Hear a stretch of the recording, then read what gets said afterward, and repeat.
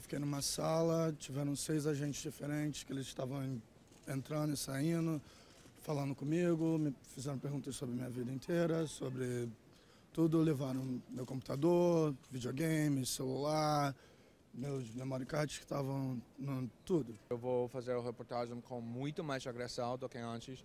Eu vou publicar muito mais documentos do que antes. Eu vou publicar muitas coisas sobre a Inglaterra também. Eu tenho muitos documentos sobre o sistema de espionagem da Inglaterra. Agora eu, meu foco vou ficar lá também.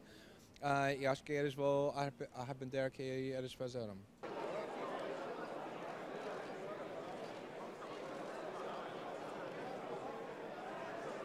Nós ontem emitimos uma nota uh, em que diz com muita clareza qual a posição do governo brasileiro. Né? Nós consideramos que não é justificável essa detenção por nove horas com base numa lei que se aplica a suspeitos de envolvimento em terrorismo. Esperamos que não volte a acontecer e eu hoje mesmo uh, deverei conversar com o chanceler William Hague do Reino Unido para transmitir essa mensagem.